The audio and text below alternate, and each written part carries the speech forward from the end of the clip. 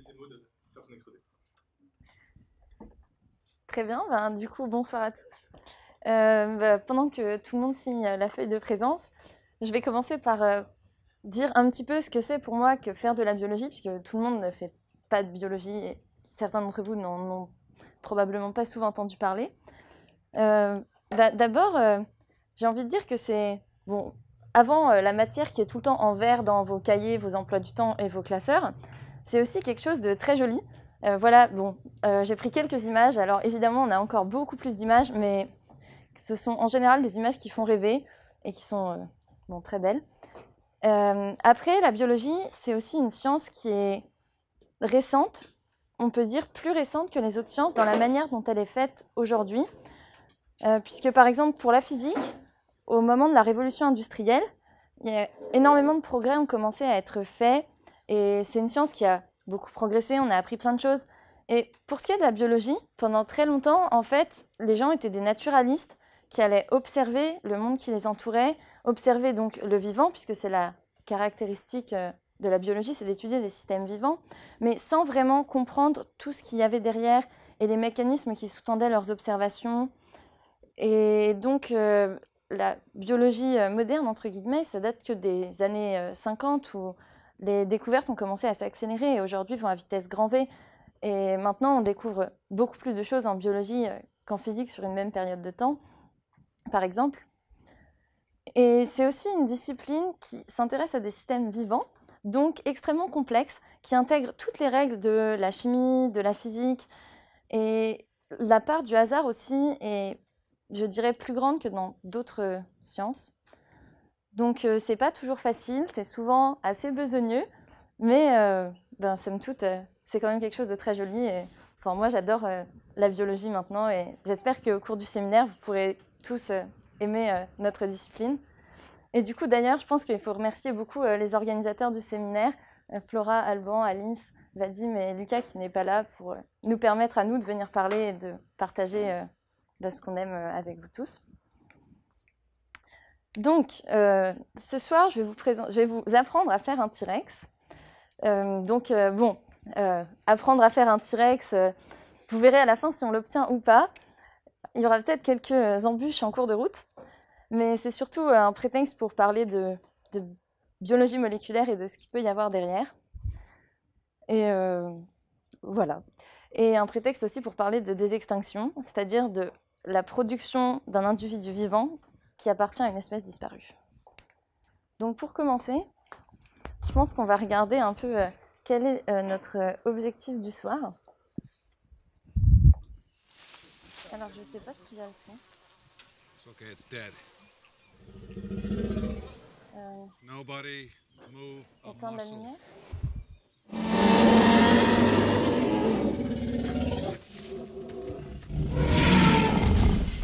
Donc voilà. Donc euh, à la fin de la séance, avec un peu de chance, voilà. Donc voilà, on, va beaucoup s'amuser. La fin de soirée promet d'être un peu plus animée que le début. Euh, donc, euh, ah, donc euh, globalement, on va parler de, des extinctions, donc de comment produire un individu vivant qui appartient à une espèce disparue. Et du coup, ben, je vais faire ça en trois parties et je, vais prendre un ordre chronologique sur du coup les premières approches de des extinctions avec les premières techniques qui sont un peu anciennes et vous verrez bah, à quel point la science a quand même progressé depuis et ce qu'on peut faire maintenant. Donc euh, ben, on va attaquer euh, par le début, donc par la désextinction par sélection artificielle qui était euh, la première méthode envisagée. Donc, donc ici, on peut voir une très jolie photo d'une famille de chats. Et on peut remarquer un truc, c'est que bah, les, les, bébés chats ressemblent beaucoup à leurs deux parents sur les côtés, donc plus ou moins selon les chatons, etc. Et donc ça, c'est les tout débuts de la génétique pour la biologie. C'était les gens qui ont observé que ah bah oui, euh, c'est marrant, mais euh, les enfants ressemblent un peu à leurs parents. Donc le premier, c'était Mendel, dans les années 1850, euh, qui observait des pois et des graines de pois. Et du coup, il a observé que oh, bah, certains pois étaient jaunes et les graines de ces pois étaient aussi jaunes, d'autres étaient verts, certains étaient lisses, d'autres étaient fripés, par exemple. Et donc, c'est la naissance du concept d'hérédité donc du fait que des caractères peuvent être transmis d'une génération à l'autre. Et c'est donc euh, Mendel a fait beaucoup d'observations, de statistiques sur ces petits pois, et ces travaux n'ont été redécouverts que dans les années 1900, où c'est là qu'on a commencé à s'y intéresser. Et donc, euh, le fait d'avoir ce principe que des caractères peuvent être transmis d'une génération à l'autre, c'est aussi ce qui sous-tend toute la théorie de l'évolution. Donc on en entend beaucoup parler, mais sans transmission des caractères des parents vers leurs descendants, en fait, on ne pourrait juste pas parler d'évolution. Puisque bah, l'idée d'évolution, c'est que si certains individus sont un peu plus compétitifs, réussissent un peu mieux dans un milieu, bah, par exemple, celui qui réussit à manger euh, une herbe que les autres ne peuvent pas manger, aura plus de nourriture, donc va survivre plus, avoir plus de descendants. Mais si cette caractéristique n'est pas transmise à ses descendants, au final, ben, ça changera rien pour eux. Alors que là, le fait que cette caractéristique de « oh, je peux manger l'herbe que personne d'autre ne peut manger ben, leurs descendants vont l'avoir aussi. Donc eux aussi vont être plus compétitifs dans leur milieu, mieux réussir, avoir plus de descendants, etc. Et donc au final, de plus en plus d'individus auront cette caractéristique particulière.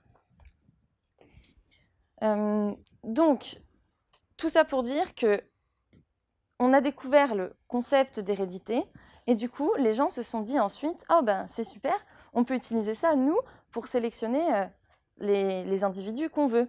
Et donc c'est pour ça qu'on parle de désextinction par sélection artificielle. C'est euh, le fait que ce n'est plus l'environnement des animaux, par exemple, ou des plantes qui va diriger l'évolution, mais c'est nous autres, les humains. On va dire, tiens, on préfère les chevaux blancs, ben, du coup, on n'aura que des chevaux blancs parce que tous les autres ne peuvent pas se reproduire. on pourrait dire que c'est déjà de l'eugénisme, mais c'est encore autre chose. Et donc, la première tentative de désextinction comme ça, par sélection artificielle uniquement, ça a été euh, fait sur l'auroch. Donc c'était dans les années 1920-30. Euh, donc déjà, c'était euh, longtemps après les premières découvertes des lois de la génétique, etc. Et donc ça s'inscrivait en plus dans un contexte où bah, c'était pendant la montée du nazisme. Et donc l'auroch, c'est cet animal donc euh, cette grande vache noire à cornes pointues qui vient plutôt du Moyen-Orient au départ, mais qui en fait peuplait toute l'Europe de l'Est. Et dans le début de l'Allemagne nazie, les gens se disaient qu'ils voulaient reconstruire l'ancienne Germanie, etc. Et le roc ayant disparu au XVIIe siècle, ben, en fait, ils voulaient juste redonner un animal ancestral qui était pour eux caractéristique euh, du passé glorieux de l'Allemagne. Et donc c'est dans ce contexte-là que des gens se sont dit, très bien, donc euh, nous, on a encore des vaches aujourd'hui. Alors pour reconstruire le roc, on va juste prendre les vaches qui sont noires, les vaches qui ont des cornes pointues, les vaches qui sont encore un peu farouches et sauvages. On va les croiser entre elles. Et à force de les croiser et d'avoir des descendants, on va toujours sélectionner ces caractères-là et on devrait recréer un auroch. Donc euh, voilà, c'est pour ça qu'on parle de rétro-sélection. C'est comme si en fait ils voulaient revenir à la vache sauvage qui serait l'ancêtre hypothétique de nos vaches actuelles. Et donc, euh, ils ont obtenu ça, des vaches de Heck, donc, euh, qui sont effectivement noires, qui ont effectivement des cornes pointues, qui sont effectivement un peu plus grandes que euh, les vaches classiques qu'on observe dans nos champs. Mais c'est quand même pas un vrai auroch. Bah, D'abord, il y a quelques... elles sont pas aussi grandes que les aurochs. Et elles ont donc deux, trois caractéristiques différentes. Et donc, une autre caractéristique différente, c'est leur ADN. Donc la découverte que l'ADN est le support physique de l'hérédité, le support euh, principal, parce que ce n'est pas le seul, ça a eu lieu que dans les années 1950, donc bien plus tard, mais euh, ça fait que ces vaches de Heck ne peuvent pas du tout être dites comme étant des aurochs. Donc euh, là, je vais faire euh, quelque chose d'un petit peu rébarbatif, désolé, je vous ai mis une petite liste de vocabulaire, mais euh, donc la biologie, c'est aussi ça. On a beaucoup de jargon, beaucoup de mots particuliers, et donc du coup, si on ne les connaît pas, on est vite un peu perdu. Donc, le cariotype, c'est ce que je vous présente là, c'est l'ensemble des chromosomes d'un organisme, un chromosome étant une molécule d'ADN associée à des protéines. Donc là, vous avez un chromosome, deux chromosomes, trois chromosomes, etc. Et donc là, on a le euh, d'une vache qui est un individu diploïde, donc qui a chaque chromosome en deux exemplaires. Donc là, un chromosome en deux exemplaires, par exemple. Et donc, euh, ces chromosomes, je vous ai dit qu'ils étaient constitués d'une molécule d'ADN, l'acide désoxyribonucléique. Je pense que tout le monde a déjà entendu ça. C'est une et on peut le voir comme simplement une séquence ordonnée de quatre lettres A, C, G et T. Et la séquence de ces lettres code pour une information. Donc le décodage va se faire par une transcription puis une traduction. Et généralement, le produit des gènes va être une protéine, même si ça peut aussi s'arrêter au stade du milieu. Et donc les protéines, ensuite, sont les briques de construction en fait, de la cellule et de tout l'organisme. Et euh, donc voilà. Et je vais aussi beaucoup utiliser deux mots qui vont être génotype et phénotype, qui sont souvent associés.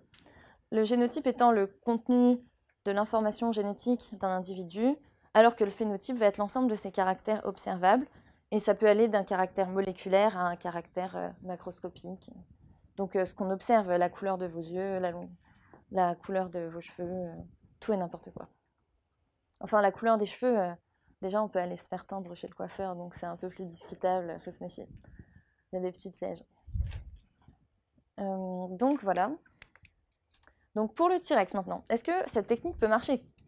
Bon, euh, eh ben moi je pense que c'est plutôt un échec parce que euh, il va toujours rester des différences phénotypiques parce que là si on voulait rétro-sélectionner un animal pour donner un T-Rex, alors je sais pas si vous avez des idées d'un truc qui ressemble qu'on pourrait prendre, mais bon, euh, ça va être un peu compliqué quand même.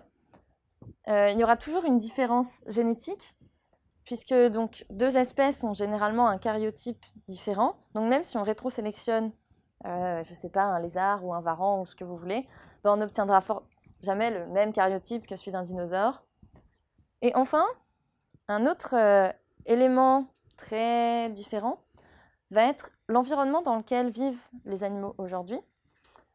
Et l'environnement, ça peut être euh, très variable. Donc déjà, bon, les conditions bon, de température, mais aussi les plantes qui les entourent. Et aussi, par exemple, les bactéries et les virus qui sont dans le euh, micro, microbiote euh, et microbiome de, des individus. Donc aujourd'hui, nous, on est couvert de bactéries, on en a dans notre intestin, sur notre peau, euh, partout. Et les bactéries qui vivaient dans des T-Rex étaient, je pense, quand même très différentes, ou pas très, mais au moins étaient forcément différentes de celles qu'on a aujourd'hui. Et vu qu'elles ont une énorme influence sur notre corps, notre santé, notre comportement même, bah, même si on reconstitue un T-Rex maintenant, euh, il n'aurait pas le même microbiote. Et donc, euh, bon, ça pourrait être discutable. Donc, si on devait faire juste un petit bilan de ce que j'ai raconté jusqu'à présent et de ce que vous pouvez retenir, euh, c'est que l'hérédité, c'est la transmission des caractères d'une génération à l'autre. Et son premier support va être l'ADN, mais pas uniquement. Donc, il y a une grosse influence de l'environnement, de l'éducation aussi. Oui, alors si vos parents vous ont appris à traverser la rue sur les passages piétons, vous allez le faire. Si vous ont pas appris, vous traverserez n'importe comment. Bon, par exemple. Et que la, quand on parle de sélection, on parle de favoriser la transmission de certains caractères par rapport à d'autres. Euh, est-ce que vous avez des questions jusque-là? Oui. Est-ce qu'il y a une définition euh, un peu rigoureuse de ce que c'est qu'une espèce? Euh... Alors, est-ce que euh, on me demande s'il existe une définition rigoureuse de l'espèce? Bon, non, pas vraiment. C'est très compliqué. C'est quelque chose de très très controversé. ça dépend si on a affaire à un animal déjà ou à une plante. par exemple, donc au départ, la première définition intuitive, c'était bon, une espèce et des individus qui se ressemblent. Oui, enfin par exemple chez les canards, entre la canne colvert et le canard colvert, bon ben les deux se ressemblent pas tant que ça. Euh, ensuite, on a essayé de donner une définition génétique. Donc ça, ça va être deux individus qui peuvent euh, se croiser, dont les descendants sont interféconds. Mais chez les plantes, il y a souvent des hybridations, donc deux espèces de plantes qui donnent euh, une nouvelle plante. Et en fait, ça pose pas forcément de problème, pas autant que chez les mammifères. Puis alors chez les bactéries, c'est encore pire. Et même une définition génétique, alors nous, on a 99% de notre génome en commun avec le chimpanzé. Pourtant, on fait deux espèces différentes. Deux bactéries qui ont 80% seulement de leur génome en commun peuvent appartenir à la même espèce. Donc du coup, euh, non. C'est une question controversée. Mais donc là, on va, dire qu'on prend la définition qui est valable de manière générale pour les mammifères. Il faudrait qu'on ait des, individus euh, qui peuvent se croiser entre eux, être interféconds, et que euh, notre bestiole ne puisse pas être croisée avec une autre espèce et en donner, un descendant viable, etc. et fécond, du coup.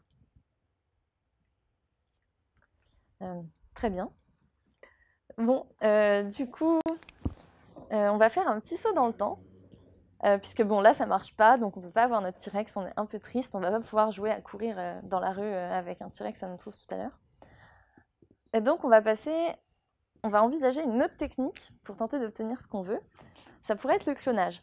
Donc, saut dans le temps, parce que le premier mammifère cloné, c'était en 1996, c'est la brebis Dolly. Donc, je pense que c'est la brebis la plus célèbre du monde.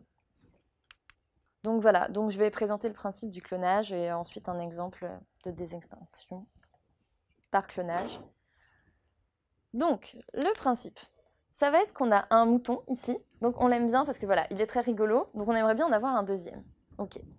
Euh, sauf que pour avoir un bébé mouton, il va falloir à un moment donné avoir une maman. Donc on choisit une mère porteuse et un mouton à cloner. On va extraire n'importe quelle cellule du premier mouton là, euh, le mouton du coup rouge, on va dire, jaune si vous connaissez, donc du mouton à cloner, et on va extraire l'ADN euh, d'une de, ces cellules, n'importe laquelle, donc euh, voilà ici. Et pour la mère porteuse, on va prendre l'oocyte, qui est donc la cellule qui est fécondée et donne l'embryon. On va enlever l'information génétique de la mère parce qu'on n'en veut pas, on veut l'information génétique de lui là. Et on va injecter euh, l'ADN du mouton qui nous intéresse dans l'oocyte qui a été vidé de l'ADN préalable de la mère porteuse qu'on utilise. Puis ensuite, dans un petit tube in vitro au laboratoire, on fait grandir un peu tout ça, ça donne un début d'embryon, qu'on va ensuite aller implanter dans la mère porteuse. Et donc, euh, cinq mois plus tard, va naître le clone de notre mouton de départ. Donc, euh, bah oui, euh, utilisons ça pour le T-Rex. Et pour déteindre une espèce de manière générale. Dolly, c'était le premier mammifère cloné. Euh, bon, alors après, c'était pas une très très grande réussite non plus parce que euh, elle a eu des difficultés respiratoires, de l'arthrite très tôt et au final, euh, elle est morte à 9 ou 10 ans, alors que l'espérance de vie d'un mouton, ça va être plutôt 12-15 ans, voire 20, 20, ans. Donc bon, il y a déjà des petites difficultés qui subsistent. Et ça, c'est pourquoi? C'est parce qu'en fait, l'ADN qu'on met au départ dans la cellule qui va donner l'embryon est déjà abîmé, il a déjà vécu, il a déjà pu être abîmé au cours de la vie. Donc par exemple, donc cassé. Les UV par exemple vont abîmer beaucoup notre ADN. C'est pour ça que si on est trop exposé au soleil, on peut développer un cancer de la peau. Nos systèmes de réparation existent, ne sont pas non plus 100% efficaces. Donc on acquiert des mutations et là, euh, bah, étant donné qu'elle avait un ADN déjà abîmé, le vieillissement était aussi plus rapide. Mais tout de même, donc il y a une tentative existante de désextinction par clonage sur le bouquetin des Pyrénées.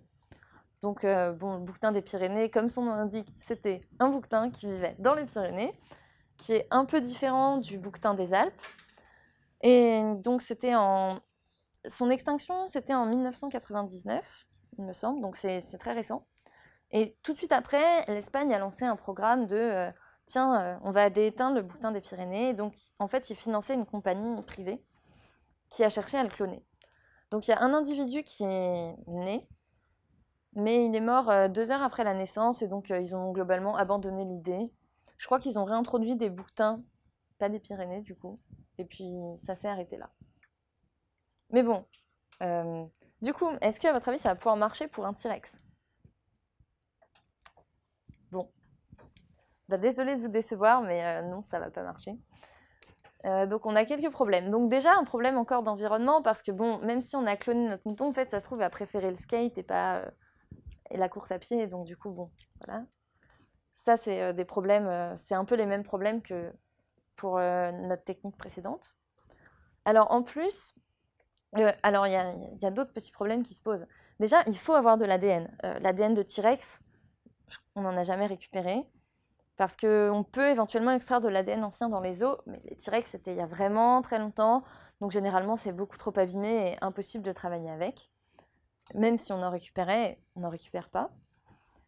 En plus, euh, bon, alors ça, c'est un problème mineur, l'ADN mitochondrial. Les mitochondries, ça va être des petits compartiments qu'on a dans nos cellules. Et elles contiennent un petit peu d'ADN. Mais du coup, quand on clone, si vous vous souvenez bien, on extrait l'ADN d'une cellule qu'on injecte dans l'oocyte de la mère porteuse. Et ben c'est en fait, du coup, l'ADN mitochondrial sera celui de la mère porteuse et pas celui du mouton rouge euh, qui était en haut. Donc bon, ce serait pas un individu génétiquement identique à l'autre.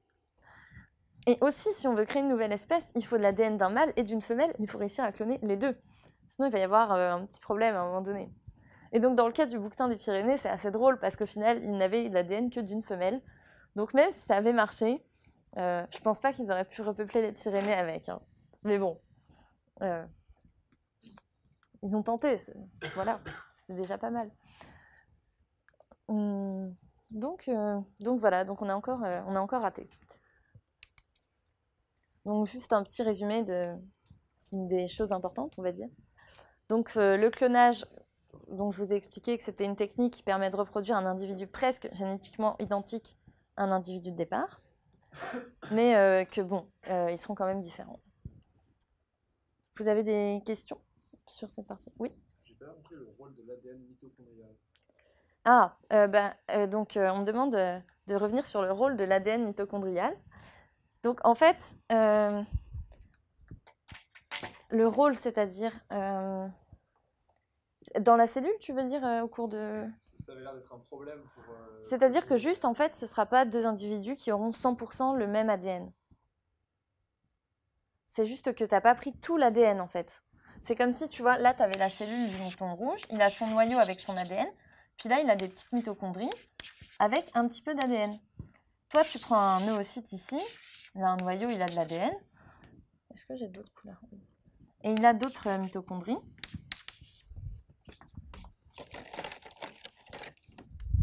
Donc lui, son ADN, il va être vert. Voilà. Et en fait, toi, ce que tu fais quand tu réalises un clonage, c'est que du coup, au final, tu obtiens cette cellule-là. Donc là, tu as l'ADN blanc qui vient d'ici, mais tu as aussi l'ADN vert qui est là. Donc en fait, tu n'as juste pas 100% le même ADN. Et la petite partie de la cellule qui est construite grâce à l'ADN qui se trouve ici, bah, ce ne sera pas la même que pour euh, l'autre cellule. C'est tout. C'est quand même des chromosomes euh, dans euh, oui, tu vas, oui, tu vas avoir. ça va être un seul chromosome. Mais oui, ça va, ça va être la même structure, c'est la même molécule, mais c'est un peu particulier. Au final, c'est un peu un détail quand même. Oui? Euh, Tu n'as pas mentionné dans les problèmes pas de mère porteuse pour les T-Rex. Est-ce qu'on peut utiliser une mère porteuse d'une espèce différente potentiellement Donc, euh, est-ce qu'on pourrait utiliser une mère porteuse d'une espèce différente? Euh, A priori, oui. Mais bon, il faudrait quand même. Bah, surtout que les T-Rex, là, c'est des œufs quand même qui pondent. Donc, il suffirait juste de trouver une couveuse, en fait. Donc, c'est pas si compliqué que ça. Puis même, je pense que ça s'est déjà fait d'avoir pour une chèvre une mère porteuse mouton, enfin des trucs comme ça, ça peut, ça pourrait s'envisager. Oui, non, mais là, c'est des œufs, donc en final, on n'a pas trop de, soucis. Bah, il, bah, il faudrait couver euh, les œufs après. Ça... Bon, je pense que c'est pas le plus dur dans ce qu'on veut faire.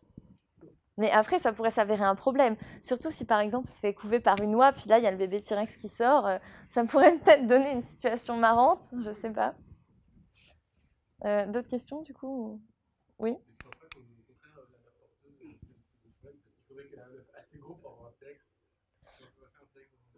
Donc, est-ce que la mère porteuse n'est pas le plus gros problème parce qu'il faudrait qu'elle ait un œuf assez gros pour faire un T-Rex Ben, écoute, euh, peut-être. Après, si tu prends des œufs de casoar ou des meux, c'est déjà ou d'autruche, c'est déjà gros. Hein.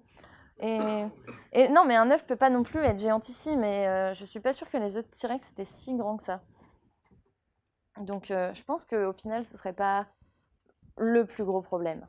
Le fait qu'on n'ait pas l'ADN du T-Rex, c'est quand même un peu, plus ennuyeux. oui? Pourquoi le projet euh, dont on entend parler récemment de reconstituer un mammouth diffère-t-il du projet T-Rex? Est-ce que c'est postulat? Qu'il y a un petit ADN de retrouver ou pas? Euh, bah, du coup, je vais parler des mammouths plus tard. Euh, donc, on me demande s'il y a le même problème sur le projet mammouth que sur le projet T-Rex et s'ils se ressemblent. Euh, bah, donc, je peux déjà répondre, mais oui, l'ADN de mammouth, on en a et c'est plus facile déjà d'en retrouver que celui du T-Rex parce que c'est quand même beaucoup moins vieux. Alors que pour le T-Rex, vraiment, je crois qu'ils n'ont retrouvé que quelques protéines et il n'y a, a vraiment pas beaucoup d'informations en fait. Mais du coup, je reparlerai euh, des mammouths. Euh, c'est bon, d'autres questions? Non? Très bien. Donc on va euh, faire un nouveau saut dans le temps et parler maintenant de l'utilisation des outils d'édition du génome récent pour faire notre T-Rex. Donc là, c'est un peu le dernier espoir, hein, parce que vous voyez, on arrive en 2012, il n'y a pas eu non plus de gros trucs hyper révolutionnaires depuis. Donc c'est la, dernière chance, l'outil de la dernière chance. Donc euh, bon, avec un peu de chance, on va y arriver. Puis euh, voilà, c'est la partie la plus fournie. Donc euh, bon, accrochez-vous, mais ça devrait aller. Ok, donc maintenant on va parler de des, extinctions par édition du génome. Et donc pour ça, on va utiliser la technologie CRISPR-Cas9, dont on a beaucoup entendu parler ces derniers temps. Mais ben, évidemment, on ne sait pas forcément ce qui se cache derrière. Donc ben, maintenant, on va parler de CRISPR-Cas9. Donc tout d'abord, euh, CRISPR-Cas9, c'est un mécanisme de défense des bactéries. Et donc, euh, euh, bah, c'est comme ça qu'il agit dans la nature. Il agit contre les phages, qui sont les virus des bactéries. Et les phages infectent les bactéries en injectant leur ADN dans la bactérie. Et ensuite, la bactérie peut mourir juste. Donc, le but pour les bactéries, c'est de reconnaître un ADN de phage et de le casser, globalement. Donc la reconnaissance passe par un ARN guide et qui est stocké dans le génome de la bactérie. Donc c'est les petits triangles, les rectangles de couleur représentés sur le schéma. Euh, et donc euh, ils sont tous stockés au même endroit du génome. Et ces petits bouts d'ADN qui reconnaissent les ADN de phage sont séparés par ce qu'on appelle les séquences CRISPR pour Clustered Regularly Interspaced Short Palindromic Repeats. Donc ça, c'est juste euh, connaître le nom pour pouvoir frimer au repas de famille et ça sert à rien de plus. Et donc, euh, donc c'est ça qu'on a est réellement CRISPR. Et en fait, quand on parle de technologie CRISPR-Cas9, c'est au final un peu un abus de langage pour parler de ces séquences-là et surtout des ARN guides qui sont stockés entre et qui sont euh, vraiment utilisés par la bactérie pour reconnaître l'ADN du phage. Et donc dans CRISPR-Cas9, il y a aussi la partie Cas9, et ça c'est une protéine qui va se lier à l'ADN euh, de la bactérie et qui va aller découper celui l'ADN du phage. Donc pour résumer, on a l'ADN de la bactérie qui va reconnaître un ADN de phage. Et comme cet, euh, cet acide nucléique bactérien est associé à une Cas9, il est capable de couper l'ADN du phage, donc de l'empêcher d'infecter la bactérie et la bactérie survit. Et ce qui est magnifique dans ce système, c'est que c'est un système de défense immunitaire qui est acquise et héréditaire. Et ça, ça n'existe absolument pas chez nous. On a un système de défense immunitaire inné, donc héréditaire, et un système de défense euh, immunitaire acquise. Donc ça, c'est celui qu'on acquiert par les vaccinations et au cours de notre vie quand on survit à des infections virales ou bactériennes. Mais on peut pas le léguer à nos enfants. Et bon, bah, c'est dommage parce que ce serait bien pratique. Donc maintenant euh, qu'on a vu ce que c'était que CRISPR-Cas9 au naturel, on va voir comment on peut l'utiliser pour l'édition des génomes. Donc, euh, c'est assez simple, on va commander un bout d'ARN guide sur Internet qui va nous servir à reconnaître un endroit précis du génome, exactement comme la bactérie reconnaît un ADN de phage. Et donc, on va injecter ça avec une Cas9 dans euh, les cellules qu'on veut modifier génétiquement, et ça va aller euh, juste casser le génome à l'endroit qu'on veut. Et donc, bah, évidemment, dans les cellules, il y a des mécanismes de réparation qui existent, et le plus courant va juste raboter les deux bouts d'ADN. Donc, globalement, on a cassé une séquence, et puis voilà. Donc, si on a un lapin noir et qu'on voulait euh, qu'il devienne marron, bah là, en fait, euh, au stade où on est, on a juste cassé la séquence du gène euh, pour la couleur noire du lapin. Donc, le lapin est devenu albinos, et puis on n'a pas de nouvelle couleur, c'est dommage. Donc, comment on fait pour maintenant insérer la séquence qui va nous permettre d'avoir un lapin de couleur marron clair, par exemple? Eh ben, on va se débrouiller pour recruter un autre système de réparation cellulaire qui va, euh, au lieu de juste raboter bout à bout les trous qu'on a créés dans l'ADN, va recopier l'ADN qui ressemble le plus autour de lui, à proximité. Donc pour ça, en fait, on introduit un bout d'ADN avec la séquence euh, nouvelle qu'on veut rajouter dans le génome. Et de part et d'autre de cette nouvelle séquence, on met les mêmes bouts que euh, ceux qui se trouvent à l'endroit où on vient de couper. Comme ça, en fait, on a une séquence d'ADN qui ressemble beaucoup à celle que nous, on veut modifier. Et du coup, la cellule qui a un trou euh, entre euh, deux bouts de séquence va se dire tiens euh, au milieu de ce trou là j'ai une séquence avec bah, quelque chose qui complète le trou. Donc ça doit être ça qui manque et hop elle copie ce qu'on a injecté.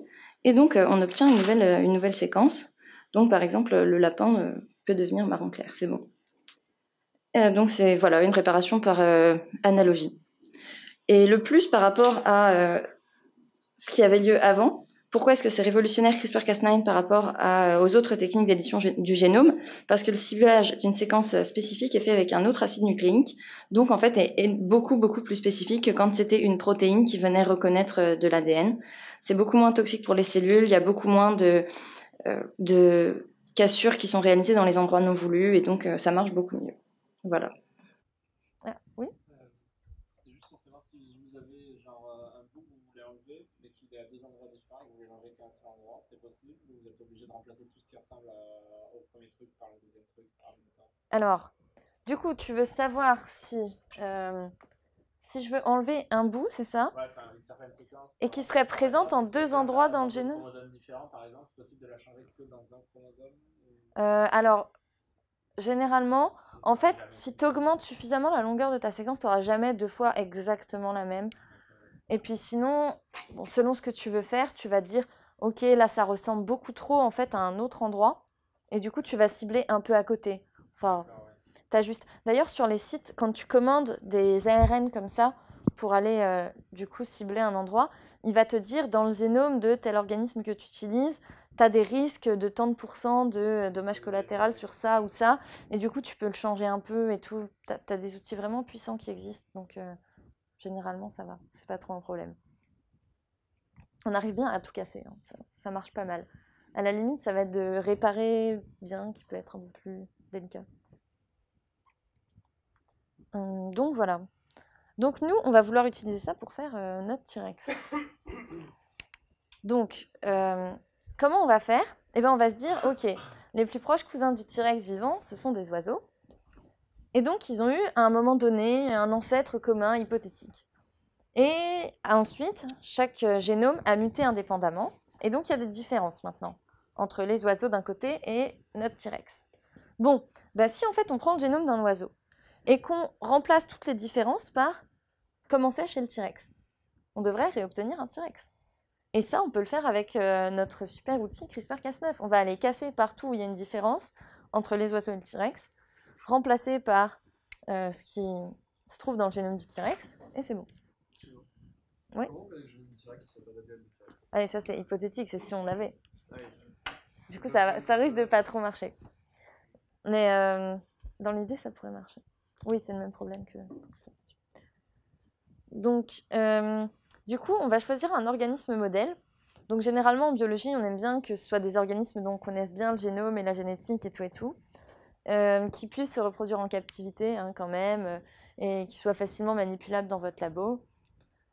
Donc, est-ce que vous avez l'idée d'un oiseau qu'on pourrait choisir? De quoi? Ouais, gagné. Donc on va prendre un poulet et on va le transformer en T-Rex. Voilà. Donc euh, bon, oui, effectivement, il y, a- du boulot quand même, hein, parce que quand on voit, euh, c'est pas exactement la même euh, bestiole. Puis alors bon, là, c'est pas encore à l'échelle, mais bon, ouais, il y, y a du boulot. Alors, qu'est-ce qu'il faudrait changer? Maintenant, je vais vous laisser travailler un petit peu. Qu'est-ce que vous avez envie de modifier chez le poulet pour avoir un T-Rex? Ouais, le bec. La queue, ouais. Les ailes. Oui, effectivement, il faudrait les réduire un peu, re- redonner des mains. Les poules n'ont pas de dents. Euh, oui, les poules n'ont pas de dents, c'est un problème. Mais ça, on peut le faire. hein. Donc, euh, donc voilà, c'est une partie de, de la liste. Donc là, je l'ai remis un peu à l'échelle, donc il faudra aussi augmenter un peu la taille de la bestiole, hein, parce que bon, voilà. Et donc, effectivement, on va commencer par s'attaquer aux dents. Oh, euh, Mais du coup, pour ça, il faut d'abord comprendre comment on construit un organisme.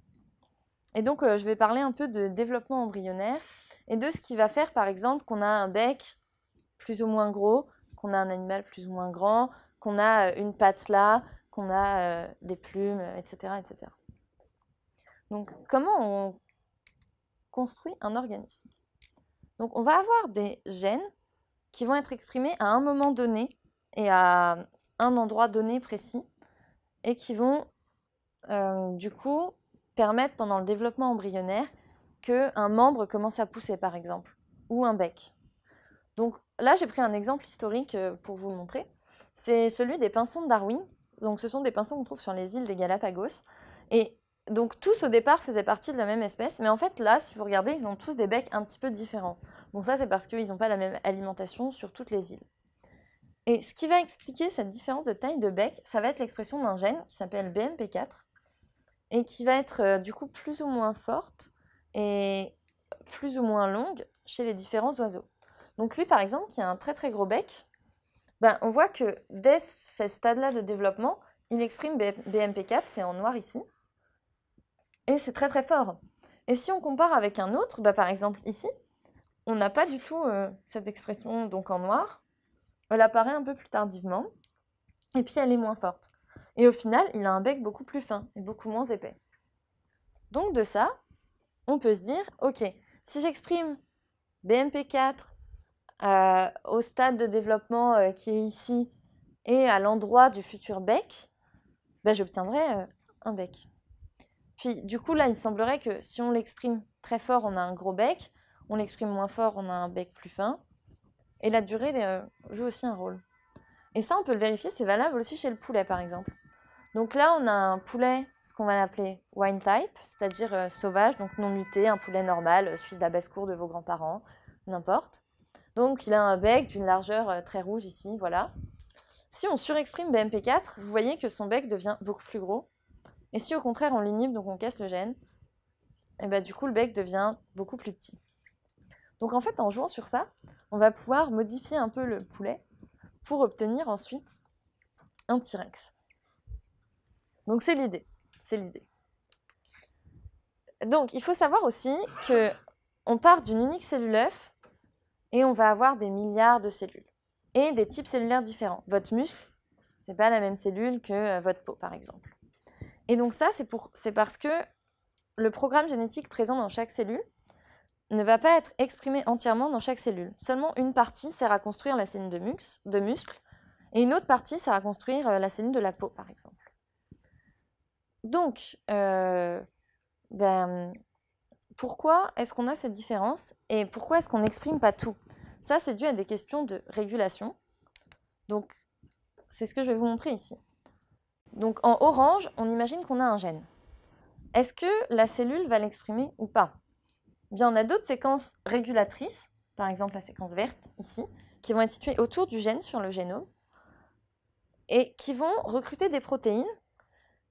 Et ces protéines-là, on les appelle des facteurs de transcription et elles vont en fait dire coucou, ici il y a un gène et moi j'aimerais bien qu'on l'exprime. Donc on fasse la protéine pour laquelle il code et qu'ensuite il serve à construire ma cellule.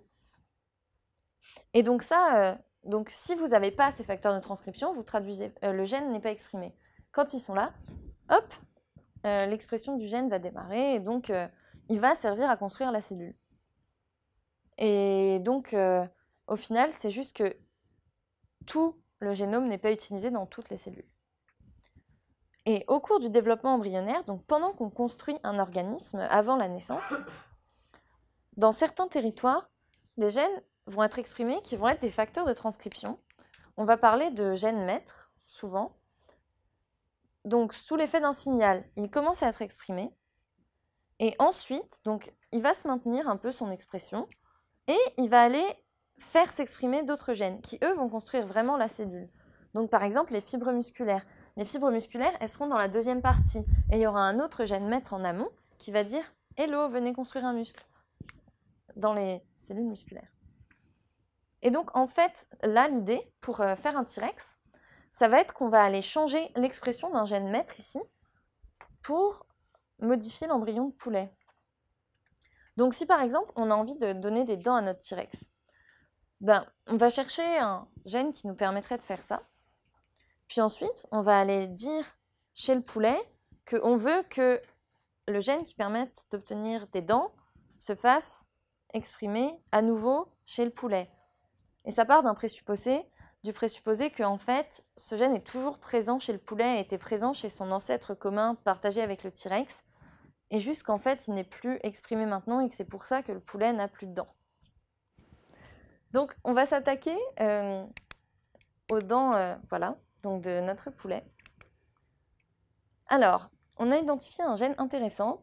Il s'appelle Sonic Hedgehog, ou SHH, quand on le connaît bien, voilà, c'est SHH, qui est nécessaire à la formation des dents chez la souris. Bon, si on regarde notre embryon de poulet ici, donc euh, on n'a pas Sonic Hedgehog qui est exprimé. Et si on compare avec l'alligator, qui est aussi un proche cousin, mais lui il a des dents, c'est un peu plus intéressant pour euh, faire un T-Rex. Donc on voit que ici, on a SHH, pardon, qui est euh, exprimé donc au stade de développement euh, qui est ici. Voilà, à l'emplacement des futures dents. Et alors, coup de chance, on a aussi un poulet mutant. Bah, lui aussi, il a des petits points bleus, etc., qui correspondent à l'expression de SHH. Et ce mutant a effectivement des dents. Donc, euh, bah, super En fait, on a juste à faire réexprimer ça chez tous les poulets, et tous les poulets auront des dents, et c'est merveilleux, et on a gagné. Donc, qu'est-ce qu'on va faire? L'idée, c'est qu'on a notre gène ici, chez l'alligator, il a plusieurs séquences régulatrices. Puis il y en a une qui permet qu'il soit exprimé euh, au niveau de la cavité buccale pendant le développement embryonnaire, et ensuite ça donne des dents. Chez le poulet, bah, en fait on a à peu près la même chose, puisqu'ils sont quand même cousins, sauf qu'il manque cette séquence régulatrice-là. Du coup, ben mince, il n'a pas de dents. Donc nous, qu'est-ce qu'on fait? On va prendre notre outil euh, CRISPR, trop trop bien, pour venir faire une cassure ici, et mettre ça là. C'est un peu comme un système de copier-coller. Donc du coup, on va pouvoir réexprimer euh, SHH au bon moment et on obtient un poulet avec des dents. Voilà. Donc on est en bonne voie pour faire notre T-Rex. Donc euh, voilà, donc on progresse. hein. Euh, et maintenant que je vous ai expliqué le principe, ben je vais vous laisser continuer. Moi, j'ai pas fait la suite. Euh, donc voilà, victoire, on peut réussir à obtenir un T-Rex, même si, bon, du coup, il faudrait qu'on ait notre génome de T-Rex, c'est pas encore gagné. Que le génome, c'est quand même grand. Chez l'homme, c'est des milliards de lettres. Donc, s'il faut en changer beaucoup, même s'il fallait en changer, mettons que 10% ou 5% sur des milliards de lettres, ça en fait beaucoup à changer. Donc, euh, bon, euh, c'est un travail énorme. Mais en même temps, si on pouvait faire ça, on résoudrait le problème du chômage, tout le monde s'y mettrait, voilà, on irait changer toutes les lettres. Ça, va prendre du temps. hein. Puis bon, donc il y a toujours les mêmes problèmes que pour les autres techniques qui sont que euh, on vit pas dans le même environnement, etc. Et donc, avoir un vrai, vrai T-Rex euh, comme il existait au Jurassique, ça risque d'être compliqué. Donc, euh, petit résumé, Euh, là il est un peu dense. Donc, si vous devez retenir un truc sur CRISPR-Cas9, c'est que c'est avant tout un système immunitaire adaptatif et héréditaire des bactéries, ce qui est vraiment magnifique. C'est une révolution pour le génie génétique parce que c'est très peu toxique et très efficace et que ça permet un ciblage vraiment bon. Ensuite, sur euh, plutôt la deuxième partie, le développement, c'est la construction d'un organisme. Et ça va se faire par, du coup, spécialisation progressive des cellules qui expriment différents gènes maîtres et enclenchent différents programmes, par exemple le programme muscle, le programme peau, etc. Et que ça, c'est sous-tendu par la régulation de l'expression des gènes. Donc en fait, le fait qu'on dise toi tu t'exprimes, toi tu ne t'exprimes pas, et que c'est beaucoup plus facile quand on, on se dit qu'on a eu une évolution entre deux êtres vivants qui n'ont plus la même forme, ça va souvent plus être en changeant des séquences régulatrices, puisqu'on ne va pas aller casser totalement un gène qui pourrait servir à autre chose. On va juste l'exprimer à un nouvel endroit, ou ne plus l'exprimer. Voilà. Euh, et donc, pour parler des, mammouths, puisque ça, c'est un projet qui existe aujourd'hui euh, à Harvard. Donc, le but euh, du labo qui travaille dessus, c'est de comparer les génomes de mammouths euh, laineux avec les génomes d'élé- d'éléphants d'Asie, qui en sont les plus proches cousins, et d'identifier des mutations spécifiques aux mammouths laineux. Donc, ça, ils en ont identifié. Ça va être des gènes qui vont être impliqués, par exemple, dans euh, une couche de graisse plus importante, la pousse des poils, la thermoperception. Donc, bon, généralement des adaptations au froid. Donc, c'est ici schématisé par le bleu, ça va être des différences entre nos mammouths et les éléphants d'Asie. Et donc, avec CRISPR, ils veulent changer euh, ces gènes pour modifier le génome de l'éléphant d'Asie et retrouver des caractéristiques du mammouth. Donc, c'est pour ça qu'on dit on va avoir un mammophant bientôt euh, dans un Pleistocène Park du futur. Donc on ne sait pas trop quand est-ce que ça va fonctionner, puisque bon, euh, c'est pas encore au stade embryonnaire où, euh, où on développe déjà euh, des vrais bébés mammouths, etc. Mais il y a des gens qui travaillent dessus. Et donc leur principal argument, c'est quand même de dire, bah, comme ça, ils vont repeupler euh, la toundra, et en piétinant le pergélisol, donc qui sont la partie du sol qui est gelée toute l'année, ils vont du coup en- maintenir la couche herbeuse et euh, empêcher la fonte du pergélisol qui est un réservoir de CO2 très important. Bon, donc ça c'est le principal euh, argument officiel euh, en faveur de faire un mammouth. Je suis pas sûre que ce soit très très pertinent, mais bon. donc encore une fois, on pourrait en discuter et c'est justement ce qui est intéressant, c'est de pouvoir discuter sur l'éthique de la déextinction et tout ce que ça implique, parce qu'il y a beaucoup d'implications. Donc, hormis d'effrayer les touristes, donc on a aussi euh, plein d'implications pour euh, ce qui va être euh, la question de l'intérêt écologique. Est-ce que c'est vraiment intéressant de dééteindre une espèce? Est-ce qu'elle va pas plutôt venir perturber les écosystèmes qui existent du coup aujourd'hui? Et pourquoi est-ce que ce serait plus pertinent de remettre une espèce ancienne plutôt que de juste maintenir ce qu'on a aujourd'hui? C'est une vraie question. Est-ce que c'est pas plus intéressant de mettre de l'argent pour protéger les espèces en voie de disparition plutôt que pour déteindre d'autres espèces alors que bon, euh, ça n'a pas l'air gagné et qu'on risque pas d'y arriver tout de suite. Euh, Ensuite, une question de respect animal parce que est-ce que c'est intéressant de déteindre une espèce pour l'enfermer dans un zoo, euh, par exemple?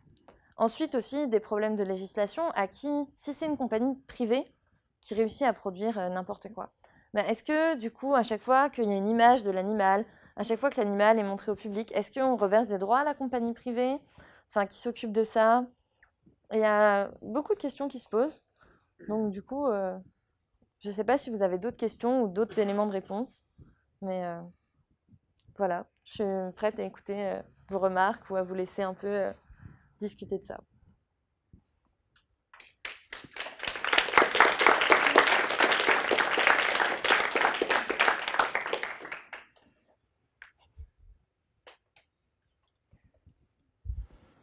Toi, t'en penses quoi euh, de la déextinction Est-ce qu'on devrait, est-ce qu'on devrait pas Euh, je pense pas être vraiment pour. Après, c'est quand même un défi euh, technologique et scientifique assez incroyable. Et si on y arrivait, bah, ce serait exceptionnel, comme le premier clonage. Euh, après, je suis pas sûre que ce soit vraiment la priorité du moment, et je pense qu'il vaudrait mieux mettre l'argent de la recherche dans d'autres choses. Mais bon, euh, après, c'est personnel. hein. Oui?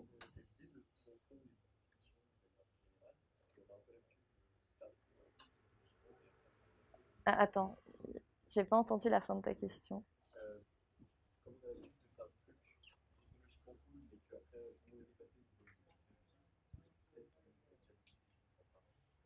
Euh, alors, est-ce qu'il y a déjà des discussions là-dessus? Euh, bah, On en parle un peu, mais c'est vrai quand on cherche euh, des choses sur le sujet, il n'y a pas non plus full de, full de documents. Après, il y a déjà un labo du coup qui tente de dééteindre les mammouths. Pour l'instant, c'est autorisé, mais je pense qu'en fait, c'est plutôt un vide législatif où personne s'est vraiment posé la question de qu'est-ce qu'on ferait si ça marchait, etc. Bon, après, euh, on peut peut-être vérifier parce que ça se trouve, il y a déjà des textes de loi qui portent dessus. Et j'ai pas trop creusé non plus, mais je pense que c'est pas très avancé. Et à quel moment pas partir en une personne Ah ben ça. Donc, est-ce qu'on pourrait faire euh, revivre une personne euh, avec ça? Euh, Oui, effectivement, il y a des liens. Par exemple, il me semble avoir déjà entendu parler de gens qui font congeler leur ADN pour éventuellement, quand la science aura progressé, revivre dans un autre corps ou être cloné, etc. Donc oui, on pourrait clairement l'envisager. Donc, euh, bon, après, euh, je suis pas sûre que ce soit pour maintenant, mais effectivement, on, on pourrait penser qu'il y aurait beaucoup de dérives qui seraient liées à ça. Donc, euh,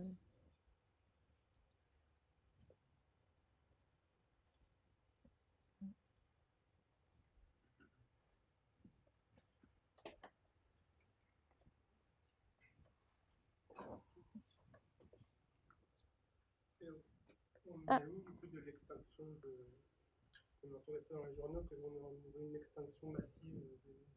Euh, ouais, voilà, ça va, ça va arriver dans un autre séminaire et ils en parleront beaucoup mieux. Mais euh, la vitesse d'extinction augmente énormément, effectivement. Puis là, c'est des exemples d'animaux disparus et il y en a plein qui ont disparu récemment. Donc, euh,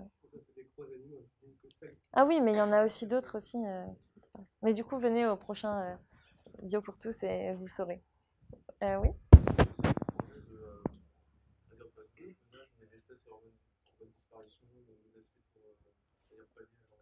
Alors, est-ce qu'il y a des projets de clonage d'espèces en voie de disparition? Je sais qu'il y a des zoos, par exemple, où ils stockent le génome des espèces en voie de disparition, etc., dans l'optique qu'ils pourront peut-être les cloner un jour plus tard. Donc, effectivement, ça existe pour des rhinocéros blancs, par exemple, ou des, animaux comme ça. Mais c'est quand même pas quelque chose de généralisé pour l'instant. Donc, euh, euh, oui, je pense. Euh, enfin, après, euh, il me semble qu'il y a des banques aussi qui stockent euh, du coup des graines de plantes et tout. Voilà.